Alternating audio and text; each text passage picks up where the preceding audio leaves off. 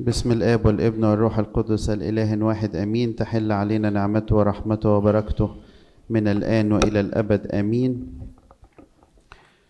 زي ما سمعنا في السنكسار وسمعنا الإنجيل النهاردة أحد الأعياد السيدية الصغرى هو عيد دخول السيد المسيح للهيكل. الوقت اللي دخلت بيه أمنا العذراء مريم ويوسف النجار وكان في استقبالهم سمعان الشيخ وسمعان الشيخ هو أحد الشيوخ السبعين اللي اشتركوا في الترجمة السبعينية اللي هو الإنجيل اللي معانا ده. وكان بيترجم وجه في آية لقاها غير منطقية زي ما أنتوا عارفين لما لقى العذراء تحبل وتلد ابنا. فبالمنطق ما تنفعش. فحب يغير اللفظ بتاع العذراء لسيدة وامرأة. وجاله ملاك في رؤية وقال له أنت هتفضل عايش لحد ما تعاين وتشوف بعينيك العذراء تحبل وتلد ابن. أنا عايز أتكلم مع حضراتكم في دقايق عن سمعان الشيخ اللي يوصفه الكتاب ويقول كده كان برا تقيا متوقعا تعزية إسرائيل. الكنيسة ترتب أن هذا الإنجيل إنجيل معلمنا لوقا نصليه كل يوم في صلاة النوم. لأنه بعد ما عاين المسيح وشال الطفل يسوع قال كده الآن يا سيدي تطلق عبدك بسلام حسب قولك. والكنيسة ترتب ده وقت صلاة النوم. يعني عشان إحنا فترة النوم دي كأنها موت مؤقت. فبتفكرنا إن إحنا هيجي وقت وهننام.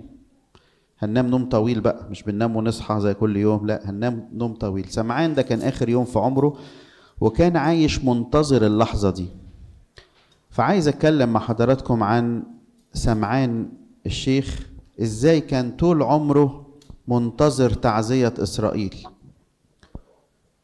إزاي كان طول عمره منتظر الخلاص. فكرة حلوة إن الإنسان يبقى عايش عمره كله منتظر تعزية إسرائيل ومنتظر الخلاص لحد ما يجي في وقت يقول الآن يا سيدي تطلق عبدك بسلام حسب قولك. فكرة الاستعداد الدائم فكرة التأهب هو كل يوم منتظر تعزية إسرائيل. فاللي عايز السؤال اللي عايز أجاوبه مع حضراتكم النهاردة إزاي ننتظر تعزية إسرائيل زي سمعان الشيخ؟ إزاي نكون في وضع استعداد دائم؟ إزاي نكون في وضع التأهب؟ إحنا ممكن نكون كتير بننتظر حاجات تانية. بنتظر ترقية منتظر أتجوز منتظر أعزل منتظر أهاجر. في واحد يبقى عايش عمره كله منتظر تعزية إسرائيل منتظر يعاين خلاص الله. في إنسان جاي الكنيسة النهارده منتظر يتقابل مع المسيح. منتظر يتحد بالمسيح. منتظر إنه يثبت فيا وأنا فيه. في حد جاي الكنيسة النهاردة هو كلها ساعتين إمتى بقى تناول؟ في واحد لما يجي يقرأ الإنجيل يبقى منتظر تعزية إسرائيل. عايز يشوف ربنا هيقول لي إيه النهارده. وفي حد يقرأ الإنجيل عادي خالص واحد مش في باله أصلا لا يحضر قداس ولا يحضر إنجيل. فالسؤال اللي عايز أجاوبه مع حضراتكم النهارده في دقايق إزاي أنا وأنتم ننتظر تعزية إسرائيل وإزاي نكون في وضع استعداد دائم؟ علشان نفتكرهم وما نتهش هم ثلاثة ته. ته اسمها ته التوبة وته اسمها ته التأمل والته التالتة اسمها ته الترك. تاني. يبقى ته الأولى اسمها ته إيه؟ توبة. والتانية تأمل. والتالتة ترك. ته التوبة الحقيقة اللي منتظر تعزية إسرائيل ومنتظر خلاص الرب ومنتظر إن يكون معاه في السماء ما ينفعش يكون في حياته خطية. هتقول لي هو في إنسان بلا خطية؟ أقول لك لا كلنا خطاة. ده بولس يقول على نفسه الخطاة الذين أولهم أنا. يعني شايف نفسه أكتر واحد خاطي. هو اللي شايف نفسه أكتر واحد خاطي ده هو أكتر إنسان محتاج للتوبة. لكن المشكلة إن إحنا ما بنشوفش الخطية بتاعتنا وبالتالي مش بنقدم عنها توبة. زي الفريسي العشار والفريسي.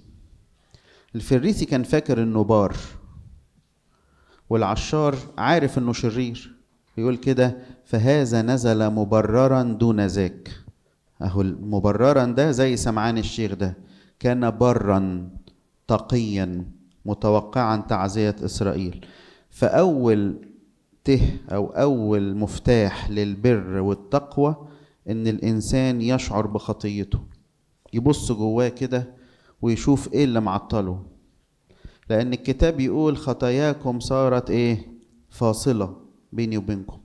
فأنا مش هعرف أروح السماء مش هعرف أكون منتظر إسرائيل ولا منتظر تعزية الروح القدس ولا أقول الآن يا سيدي تطلق عبدك بسلام طول ما في حياتي خطية خطية بلا توبة خطية بلا توبة. كان البابا شنودة يقول كده ربنا مش هيجي يقول لك أنت ليه عملت خطية بس هيجي يقول لك ليه ما تبتش؟ فأول ته تدينا أو تخلينا زي سمعان الشيخ ده برا تقيا هي ته التوبة. إنسان مشغول بتوبته كل يوم منشغل بخلاص نفسه وبيقول كده إمتى بقى يا رب أكون معاك في السماء؟ فيبص في قلبه كده يلاقي شوية كراهية ينظف الكراهية دي. يبص في قلبه كده يلاقي شوية حقد يبطل دي. يبص في قلبه يلاقيه في شخص ما بيحبوش ده يروح يحبه ويخدمه ويقدم له محبة كمان. ليه؟ مش عشان الشخص اللي قدامي ده يستاهل أو ما يستاهلش لأ. أصل في حاجة أحلى. أنا متوقعا تعزية إسرائيل منتظر الخلاص منتظر إني أكون معاه في السماء. يبقى أول ته تخلينا مستعدين هي ته الإيه؟ التوبة. كل يوم بقى كل واحد يحاسب نفسه. ويشوف هو زعل ربنا في إيه النهاردة. لربما دي تكون آخر ليلة. يبقى ته التوبة. ته التانية ته التأمل. التأمل يعني إيه؟ زي أمنا العذراء مريم كده. لما الكتاب يقول إيه؟ كانت العذراء مريم تعمل إيه؟ كانت تحفظ كل هذه الأمور متفكرة بها في قلبها. يعني في إنسان باصص على السماء كده وباصص كده على إزاي ربنا هيديله مكان في السماء؟ إمتى أكون معاك؟ في إنسان يدخل الهيكل أو يدخل القداس متأمل متأمل في في في الألحان الجميلة اللي بتتقال متأمل في لبس الشمامسة وفرش المذبح متأمل في حضن الآب اللي جوه ده باصص على الصليب وعمال يفكر ويحط خطيته كده قدام ربنا. لما يجي يقرأ الإنجيل في إنسان يقرأ الإنجيل قراءة عابرة وفي يسموها قراءة تأملية. يعني إيه قراءة تأملية؟ ياخد الآية كده ويقعد إيه يسرح فيها يسرح من غير وقت يسرح. التأمل يدينا فرصة إن إحنا ننتظر تعزية إسرائيل. تلاقي ربنا بيبعت لك رسائل تعزية بس اقعد مع الكتاب واقرأ. يقول كده فتشوا الكتب لأنكم تظنون أن لكم فيها خلاصا. في واحد الحقيقة الإنجيل مش في باله خالص. وحتى لما بيجي يحضر القداس يقول هو إحنا وصلنا فين؟ هو الإنجيل اتقرأ ولا لسه؟ أو أجي متأخر أجي متأخر على وقت التناول. أو يقول الحقيقة يا أبونا أنا ما كنتش عامل حساب أتناول. فانا شربت بقى بق مية وبق شاي وبس لقيت نفسي إن في قداس فقلت أجي. الحقيقة ده مش متم مش منتظر تعزية إسرائيل. ولا متوقع تعزية الروح القدس. ده لقى قداس معدي لقى قداس فدخل كده. لكن الته التانية دي ته التأمل اللي هي الخلوة. يا بخته الإنسان اللي كان بياخ اللي بياخد خلوة. بابا شنودة وغالبا أغلب المطارنه والاساقفه بيبقى ليهم وقت كده يشتاقوا للدير ويشتاقوا للقلاية بتاعتهم ويفصل. عارفين لما واحد يشد الفيشة؟ هي دي الخلوة. شد الفيشة. إحنا في وقت الحقيقة مخنا كله والدنيا حوالينا كل كل يوم مشغولين كل يوم مخنا ما بيقفش. ده في واحد ممكن من كتر التفكير ما بيعرفش ينام فيروح للدكتور يديله منوم عشان ينام فمخه يعطل شوية عشان يعرف يصحى يشتغل. في واحد هو نايم بيفكر طب ما أنا بإرادتي بإرادتي أنا أفصل وأقعد مع نفسي كده بعد ما الكنيسة تطلع أدخل الهيكل ولو عشر دقايق اللي يجرب الخلوة ما يسلهاش أبدا. يبقى الته التانية ته إيه؟ التأمل. ته الأولى كانت إيه؟ توبة. اصحوا معايا. ته الأولى كانت إيه؟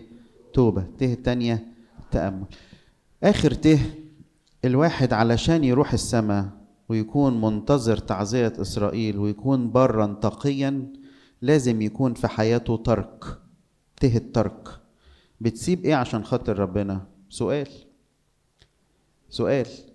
بسيب إيه عشان خاطر ربنا؟ ولا أنا عايز كل حاجة؟ حب القنية أو الاقتناء ده إنسان باصص في الأرض. لكن اللي بيترك زي ما كان الانبا برقام أسقف الفيوم معوش حاجة في جيبه حتى فلوس الخدمة مش بتاعته.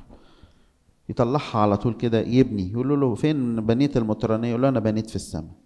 طب إحنا كنا عايزين نجيب عفش ونبني ونعمل لا لا لا في حاجة أهم ترك. كل واحد فينا لما يرجع بقى النهاردة بيته يبص كده على دولابه ويبص على لبس ولاده ويشوف إيه الحاجة اللي ينفع أتركها وتليق بربنا. لأن ساعات إحنا بنقدم أمور اللي هي إيه واحد عايز يروق البيت. ساعات كده لما تيجوا جنب الكنيسة في الباب الباب التاني في ركنة كده اللي عنده حاجة مش مش محتاجها أو مستغني عنها يتبرع بيها للكنيسة. بصوا كده بقى على أو الح- الأشياء دي اللي الناس بعض الناس تجيبها يعني. اللي يجيب كرسي مكسور واللي يجيب آه، عجلة ما ملهاش دركسيون هو بيروق البيت وبالاسم هو بيعمل إيه؟ بيترك أو بيقدم لربنا. فموضوع الترك ده انت بتقدم فبتحوش في السماء كنت لسه في الزيارة لأحد البلاد خارج مصر وآخر يوم وأنا خلاص رايح المطار لقيت واحد جري عليا اداني ظرف كده. طب له ده إيه؟ قال لي حط لي الظرف ده عجبني قوي التعبير. قال لي حط لي الظرف ده في حسابي اللي في السماء عجبني قوي ال expression اللي هو استخدمه. بقول له يعني أعمل إيه يعني؟ قال لي زي ما تشوف.